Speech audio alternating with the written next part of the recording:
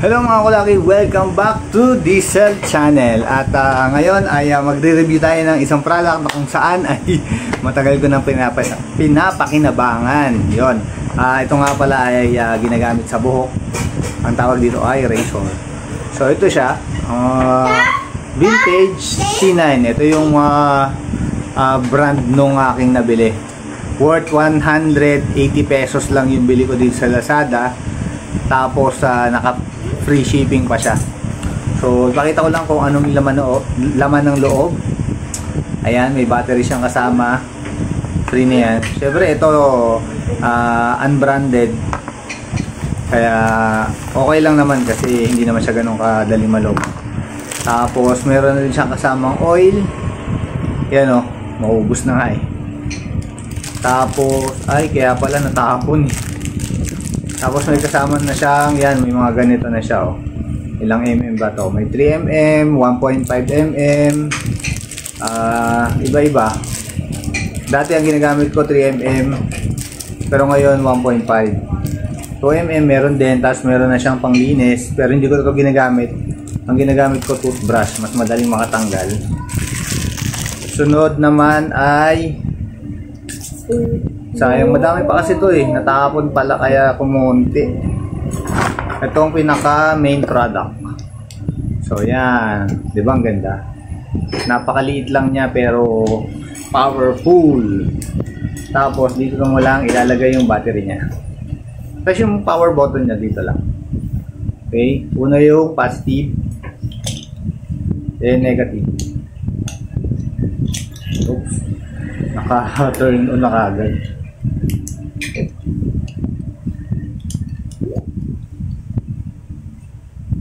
So, napakadaling gamitin mga kulaki, no? So, ayan siya, oh.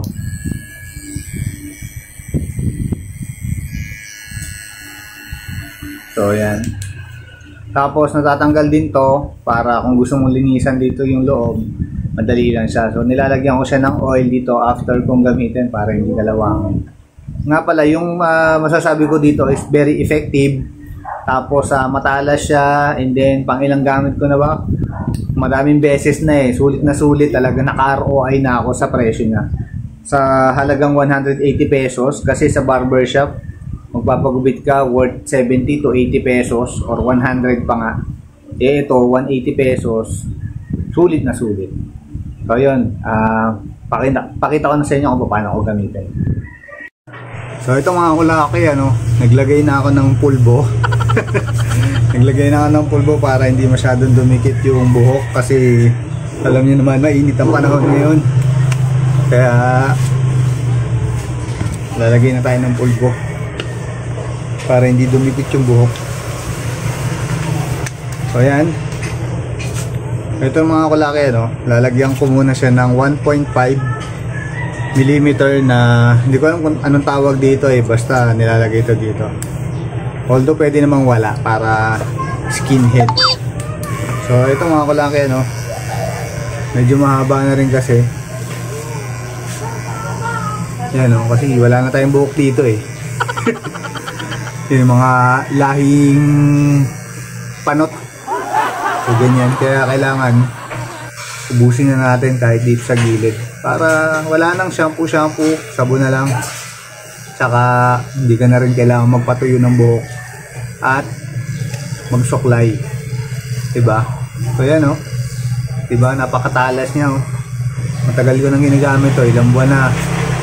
Mag-iisang taon na rin siguro. Yan oh. Kita niyo naman oh. Napakasulit. Ganyan lang.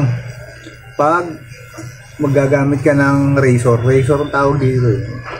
Huwag kayo iiyak. So ayan, pag dumami niyo yung mga buhok dyan, ginagawa ko, tinutoothbrush ko. Parang ngipin lang. Para hindi mag-stuck. Yan.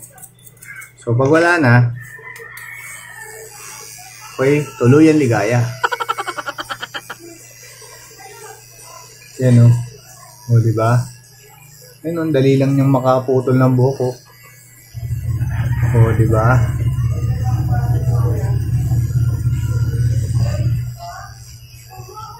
Minsan every 2 weeks nagganito na ako eh. Pero recently, medyo yung huli kong gupit siguro mga inabot na ako ng mga 1 and a half month bago ulit ako nakapag ganito. Tinamad eh, no? Yan o, di ba malinis na siya? Oo.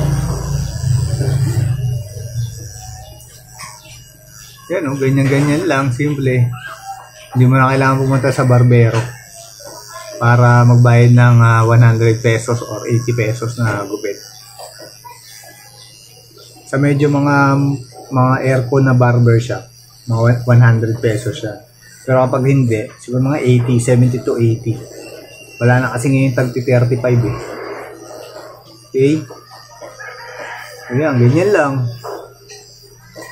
Simple simple. Oh, di ba? Hindi mo na kailangan maghintay, magpagod sa pagpila. Minsan kasi di ba may nagpapagupit din, so maghihintay ka pa. So yan, yan. Kalbong-kalbo na tayo, mga kulaki oh. Yan, simple lang, di ba? So yun, very effective mga kulaki, no? Napakaganda. Matagal na to sa akin. Mag-iisang taon na. At ah, happy naman ako dito sa na-purchase ko na to. Medyo may kalawang na siyang konti, pero okay naman siya. Siguro kailangan lagyan lang, lagyan lang ng langis, no? So yun, salamat mga kulaki at ah, sa mga hindi pa nagsusubscribe, subscribe na kayo.